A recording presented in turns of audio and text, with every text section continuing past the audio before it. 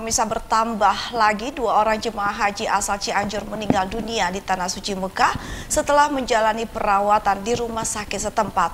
Keduanya tergabung dalam kloter 34 Jawa Barat yang seharusnya ikut tiba dengan rombongan lainnya.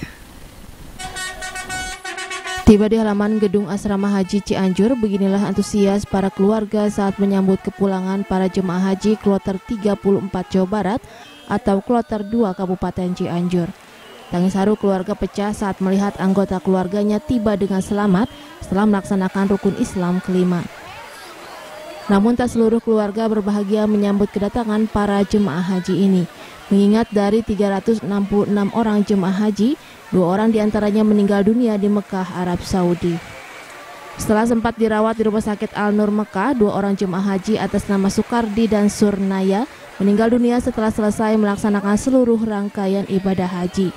Sunaria meninggal pada pekan lalu sementara Soekardi menghembuskan nafas terakhirnya pada Senin kemarin. Meski tanpa sang ayah, salah satu anggota keluarga jemaah haji yang meninggal dunia tetap hadir di asrama haji untuk membawa koper dan bawaan milik mendiang ayahnya. Sebelumnya, kedua orang jemaah haji ini berangkat dalam kondisi sehat setelah menjalani serangkaian pemeriksaan kesehatan.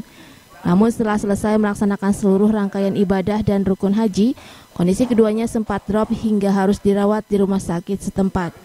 Selain kelelahan, penyakit bawaan kedua orang jemaah haji lansia ini menjadi penyebab keduanya meninggal dunia. Meski jenazah tidak bisa dibawa kembali ke tanah air, namun para keluarga jemaah haji ini mengaku ikhlas. Sementara pada kloter 34 ini tercatat sebanyak 366 orang jemaah ditambah 8 orang petugas haji yang tiba di asrama haji Cianjur.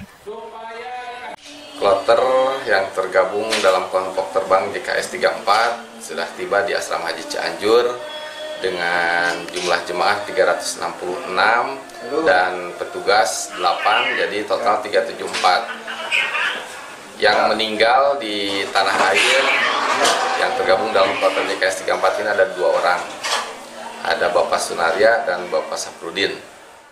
Hingga saat ini data yang diperoleh Kemenak Cianjur jumlah keseluruhan jemaah haji yang meninggal mencapai enam orang jemaah. Heri Setiawan, Bandung TV.